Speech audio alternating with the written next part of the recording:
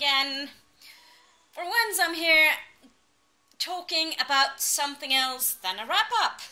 Imagine that. Uh, I'm actually going to talk about um, Worldcon or 20, uh, Dublin 2019, as it's also known as, or more officially known as.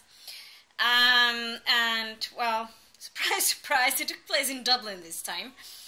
Uh, I have been to Worldcon once before uh, in Helsinki two years ago, and that was my excuse me uh, my very first Worldcon.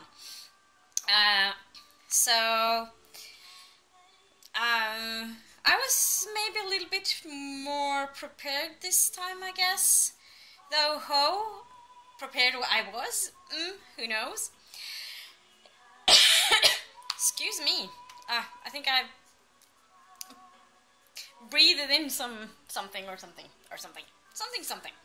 Anyway, so the official dates for the Worldcon was 15th to 19th of August. It was like yeah Thursday to um, to uh, Monday. Uh, we actually arrived in Dublin uh, the Monday uh, before the Worldcon started, so we were able to actually um, register uh, and get our badge uh, on the mon- on Tuesday, if I'm not mistaken. I think it was Tuesday. I think it was Tuesday. Yeah, it was Tuesday.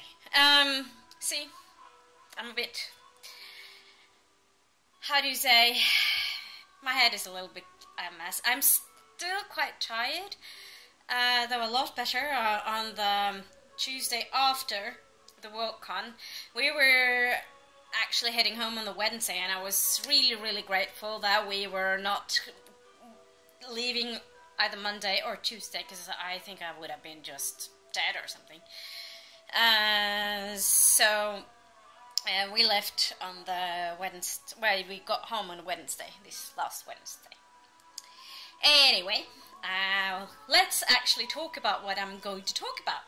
So, Thursday, uh, I went to the first panel. Um, um, I don't go to Worldcon to attend a whole lot of panels and program items because it's not really doable. Uh, I mean, this Worldcon there were like almost 7,000 participants. Uh, Helsinki was larger, more people. But that also mean that even though like the program was huge, I mean, enormous, so much to do and so much you could do. Uh, even so, um, at least I'm not able to do like a lot of panels and program items. It's just not doable for me.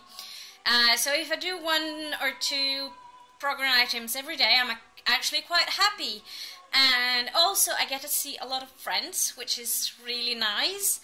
Uh, um, over the years, uh, I've been to quite a few Norwegian cons previously, but a few years ago I started to at attend uh, uh, cons outside of Norway. Um, and actually, lately, there hasn't been all that many cons in Oslo that I have attended.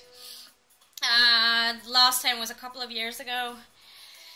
And last year, I didn't know about the a Norcon until like uh, just a few days before it was actually happening, and I worked, so I wasn't able to go.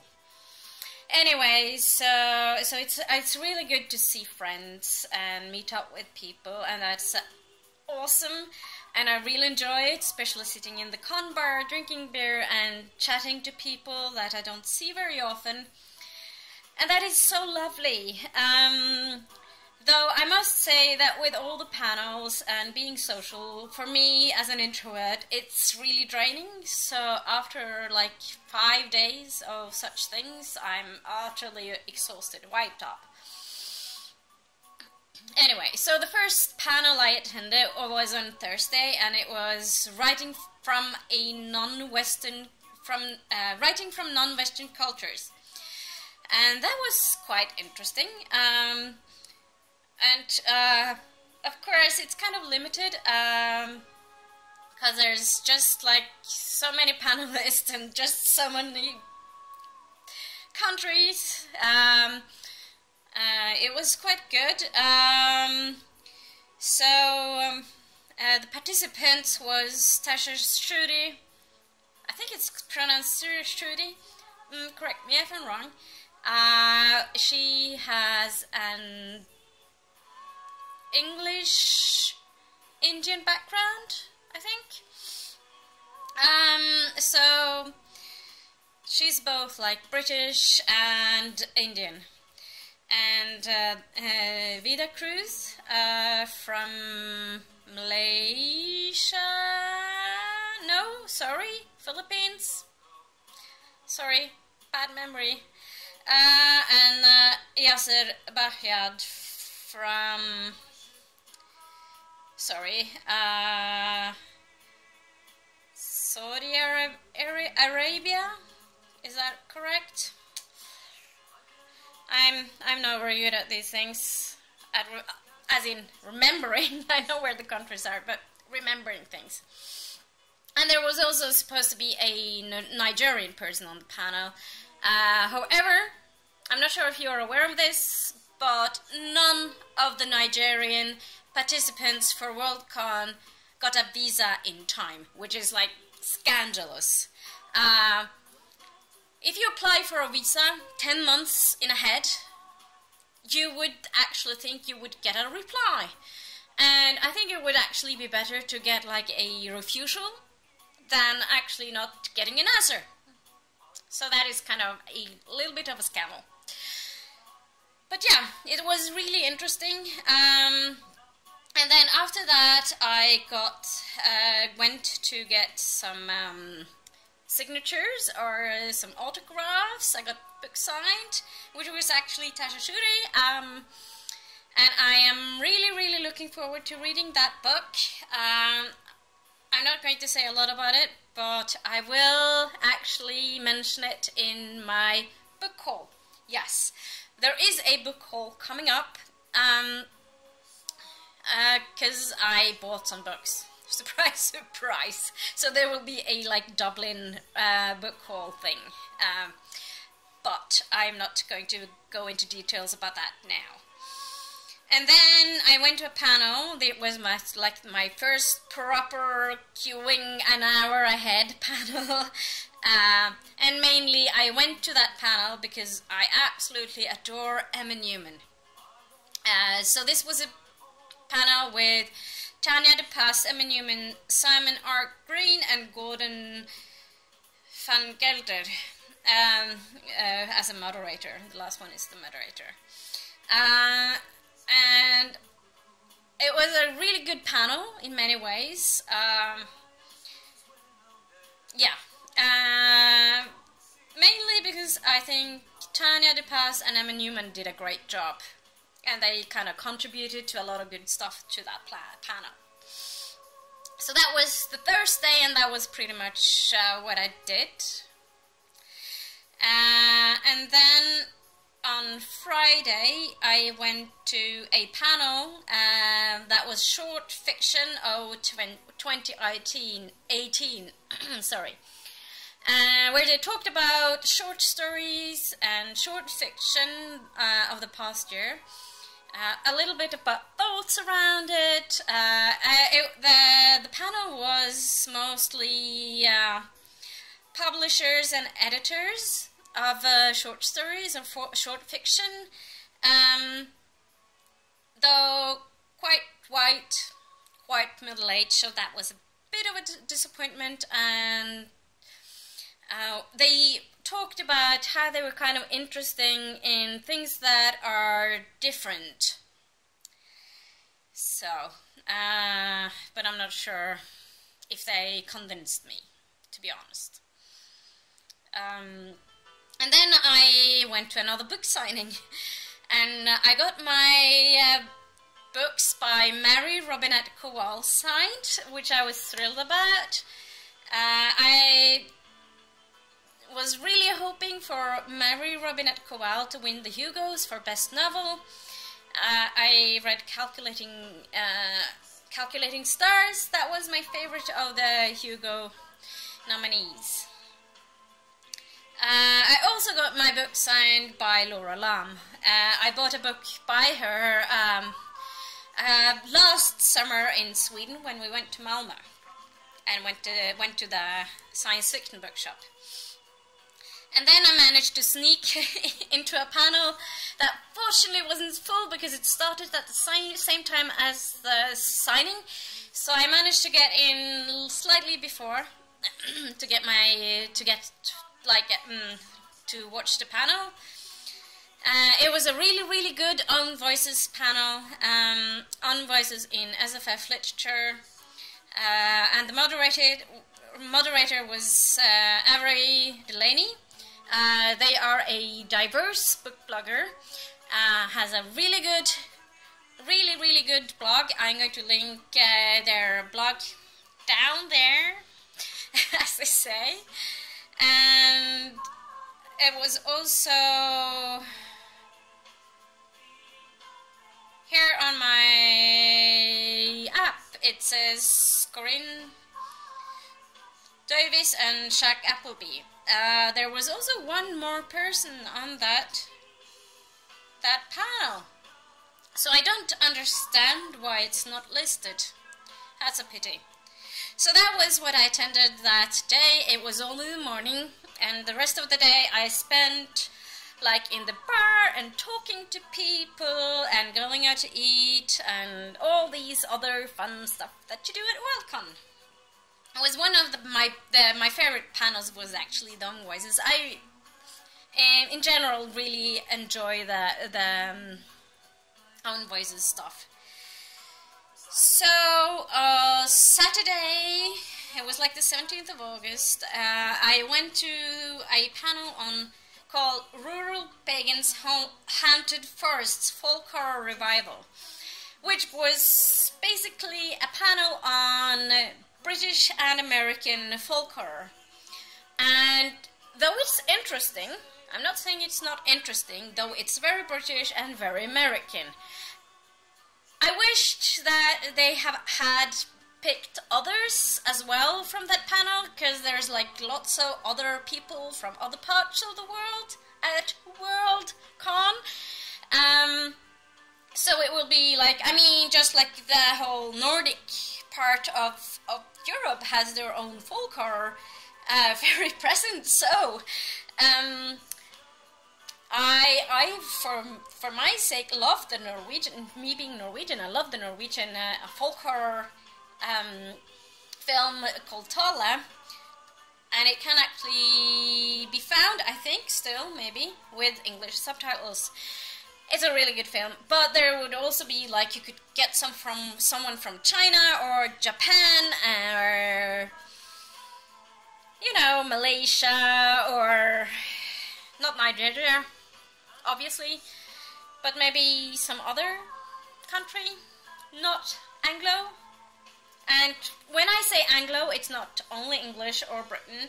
Uh, where by Anglo I mean English-speaking countries uh, that has something in common, like Britain, Ireland, South Africa, Australia, and America. Uh, anyways, and then there were more book signings. I got to get books signed by the brilliant, brilliant Emma Newman. She's so lovely. Uh, and yeah, and I got to kind of hang out with people as well. Uh, and then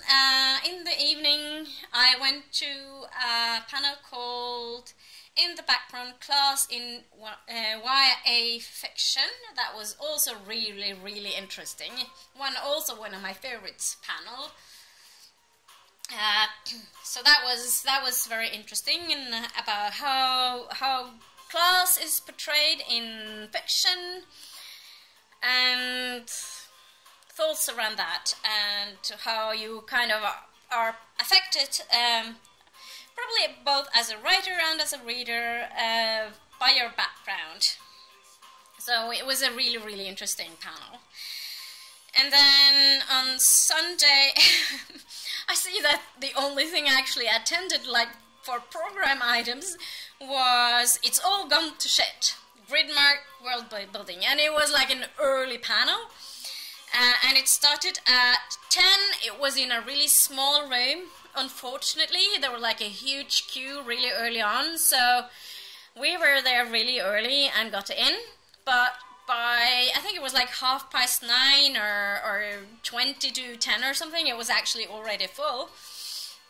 But then again, it was um, the participants of the the um, panel was like Anna Smith, Cameron Johnston, Joe Abercrombie, R.F. Kuang, and uh, the moderator Robert Corvus. Um, and they all write in uh, Grimdark, and um, it was a really good panel. It was so much fun. Um, lots of humor, and it's like they started with like all these. Uh, it's a grim dark panel. Why are you here in the morning? Uh, but yeah, it was really good, and I had a, had a really enjoyed that. Uh, rest of the day was mostly socializing, I think, which is always good. And then the last day, I started uh, the day by going to uh, signings, uh, and I got my book signed by uh, Peter O'Gillion, which is kind of fun because uh, he's a friend of ours, and I know him from EasterCon, uh, my very first EasterCon. Um, so he signed my book. Um, and called me in his book. Uh, he calls me like curry buddy because we kind of got to know each other over uh, over a, really good, a decent uh, plate of curry in a fairly crap hotel, as he put it. So that was fun. Uh, and then I went to a reading by Jeanette Ng, who also actually got uh, um, the prize for Best New Writer. Um, and then another reading later in the day with Emma Newman, who is a really great reader. So two really good readers, and I also got my book signed by uh, Jeanette Ng. So that was basically what I did, and being socialized. Um, so I could probably talk about like things that went wrong and things that were good, but I'm pretty sure a lot of people will do that. Um, I follow the Hugo uh, Hugos. I pretty much follow most of it on on um, Twitter. I tried to watch it uh, in the bar in Martin's um, on excuse me uh, on the big screen, but with subtitles because there was like no sound. But that really didn't work for me. So I decided to go up uh, outside um, into another room and uh, and just follow it on Twitter and spend some time with friends rather than trying to watch it on a big screen that didn't really work. So I must say that I had a really good time at WorldCon. Uh, I'm not saying it was perfect, uh, though uh, you have to kind of keep in mind that this is run by volunteers. They are not paid for it. Uh, a lot of them probably has not ever done ever anything like it before. Um, so there will be hiccups, especially with like it's being such a huge venue, and but I think they did as they try their best. I think uh, I try to be positive. Uh, it's in my nature, I guess. Um, and yeah, so, all in all, I, I, had a really good time. I got to meet friends and see some good panels and good talks and stuff, and that was really good. Uh, and yeah, uh, I think that's all I want to say about Worldcon. Uh, did you go to Worldcon? Did you? What did you see? Did you meet friends? Did you get new friends? Oh yeah, uh, that is also something that I really thought was awesome was I got to see an Instagram friend that I'd never met before, A Fantasy Sky on Instagram. Uh, uh, we followed each other on Instagram for a while, and also I got to meet uh, Twitter friends that I've I've been following for a long time, but never met before, and that is just so great that you have all these people from around the world, and you actually get to meet them face by face to face. At least I really enjoy that. So I guess that's it for now. Uh, feel free to subscribe, hit that thumbs up thing, uh, but no hatred, please. Um, we need we need kindness and and uh, all all that kind of stuff in this world, right? So yeah, be positive. That's all I'm going to say. Um, so that's it for now. Bye.